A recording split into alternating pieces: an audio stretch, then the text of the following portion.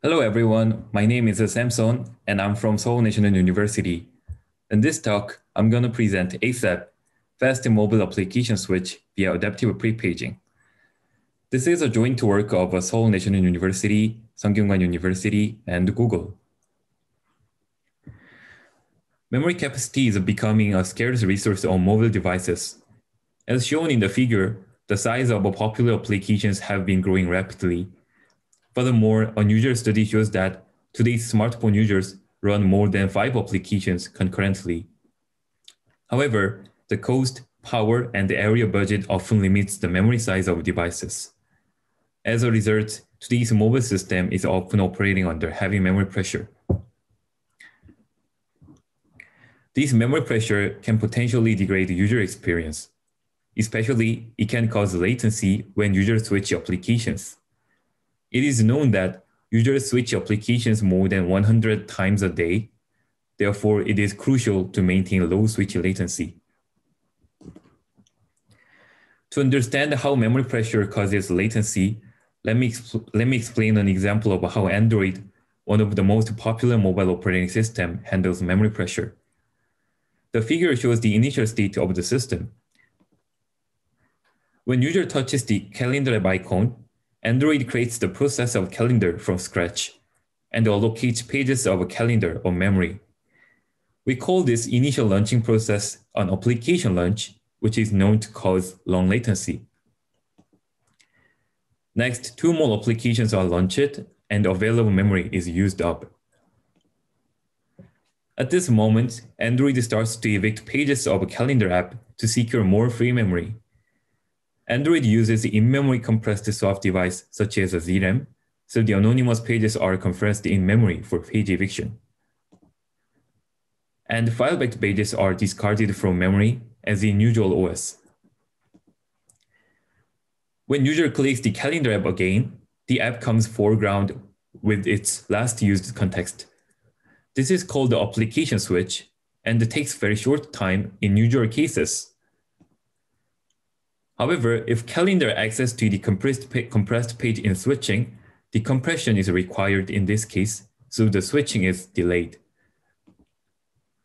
Likewise, the evicted file-backed pages should be read from disk on demand, so switching is delayed.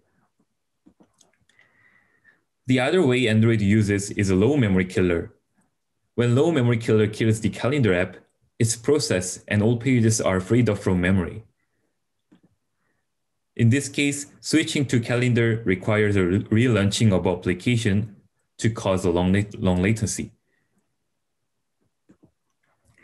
To quantify the effect of memory pressure, we measured the switching latency of eight popular real-world Android applications in different scenarios. First, these two bars show that the switch time under heavy memory pressure and the normal launch time, representing relaunch of application. We observed that even when most pages are not in memory, launch time is slower than switch time in all cases. This implies that it is better to avoid the relaunching by, dis by disabling low memory killer. Second, we compare the switch time under high memory pressure with the switch time without the pressure. This time, we observe that switch time can increase by four times on average compared to the no pressure case.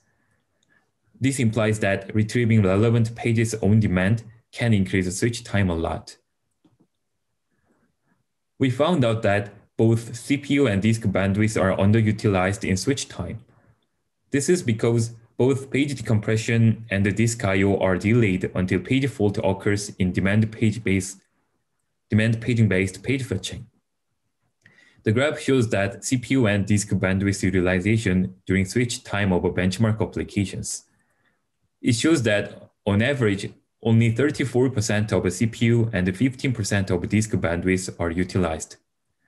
As a result of this, the system is spending more time in switching than necessary. To improve this, leveraging a pre-paging technique can be helpful. The idea is that switch time can be improved, improved by aggressively doing decompression and the I.O. at the beginning of a switch. By doing so, CPU cycles and disk bandwidth can be fully utilized, and the switch time can be much closer to the switch time without the pressure. So our goal is to reduce the switching latency by leveraging pre-paging. To design a practical pre-paging technique, the two challenging questions must be answered. The first question is what to pre-page. To initiate decompression and the I.O. at the beginning of a switch, we should know what pages will be used at the next switch. This is not trivial because the application's contexts keep changing at every switch. Under this circumstance, the pre-paging technique should achieve high coverage and low miss prediction at the same time. The second is how to pre-page. To reduce the switching latency, the pre-paging should fetch pages in a way maximizing the resource utilization. Moreover, the contention between pre-paging thread and the application thread should be minimized. As a solution to these challenges, we present ASAP application switch via adaptive pre-paging.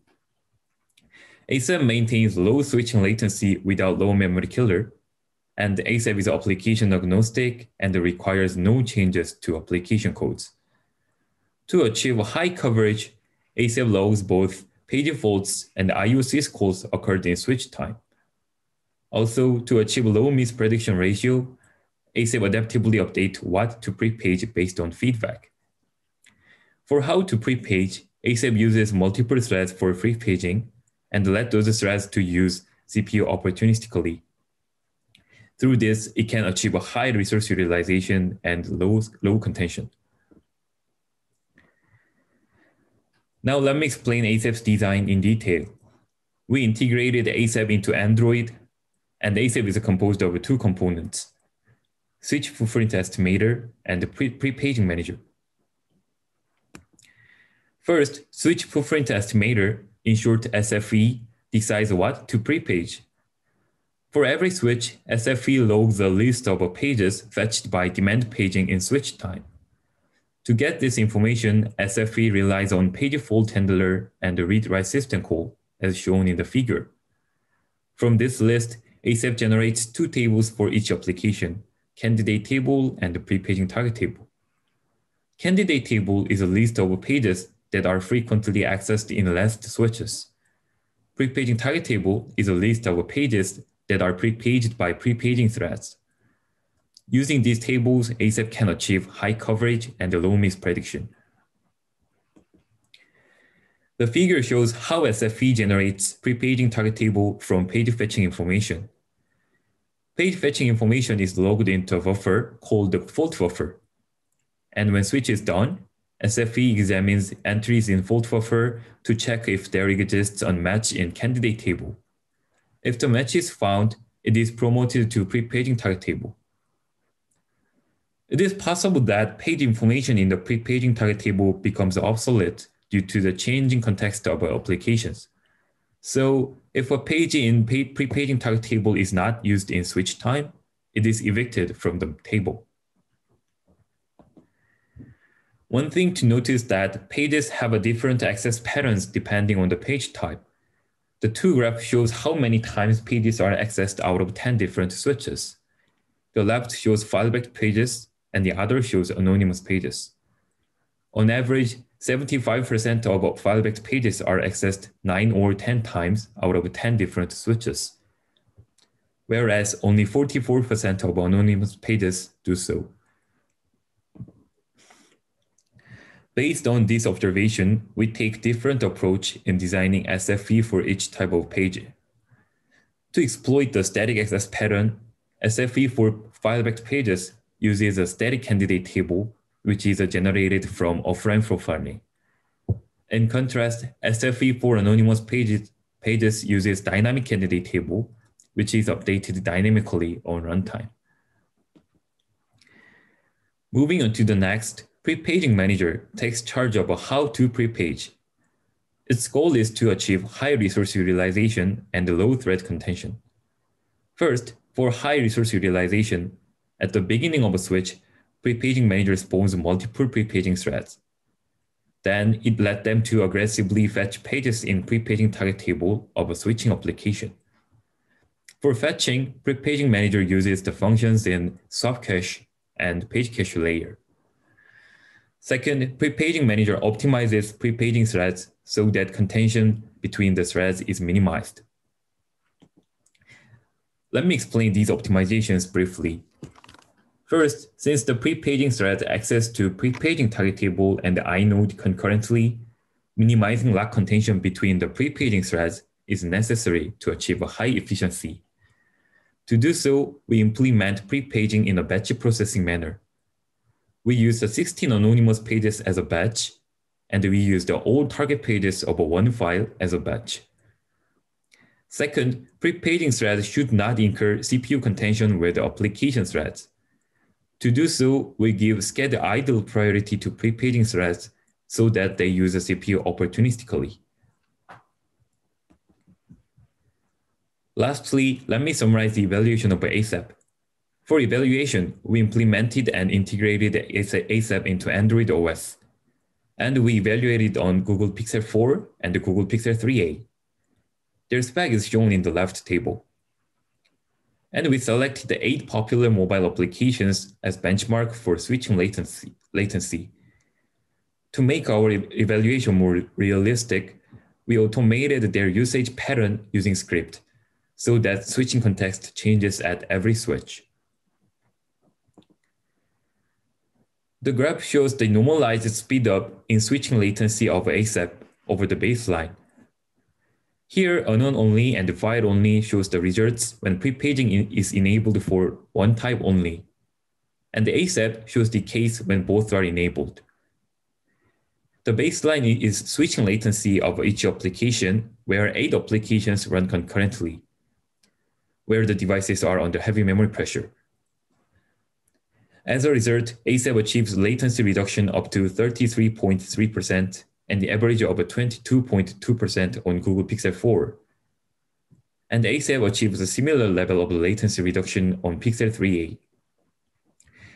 Also, the result shows that prepaging for each type of page contributes to the latency reduction.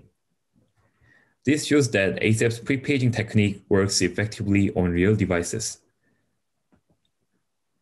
Next, we evaluate the resource utilization to verify the effectiveness of prepaging. The graph shows the CPU utilization in switch time, and the x-axis of the graph is normalized timeline of a switch of each application. With the ASAP, CPU utilization increases 35% in the best case and 18% in, on average. Especially, the utilization noticeably increases at the early phase of a switching and the switch is finished earlier due to that. Similarly, disk bandwidth utilization is also increased in most cases. One exception is Angry Bird. ASAP's effect in Angry Bird is marginal because Angry Bird uses multiple threads in switch time by default. Finally, we evaluate the accuracy of SFE. The left graph shows precision and recall of SFE for anonymous pages, and the other one shows the SFE for file-backed pages. Here, higher precision means lower misprediction rate, and higher recall means higher coverage. As shown in the graph, SF, SFE for file-backed pages shows better precision due to the static access pattern of file-backed pages. However, SFE for anonymous pages shows better recall due to the runtime update of a dynamic candidate table. To sum up, we first identified the performance bottleneck in application switch and the root cause of a low resource utilization in switch time. As a solution to this problem, we present ASAP, which is an application agnostic prepaging technique. We implemented ASAP on real system and achieved up to 35.7% latency reduction. This is the end of my talk. And if you have any question, please contact me at the following email. Thank you for listening.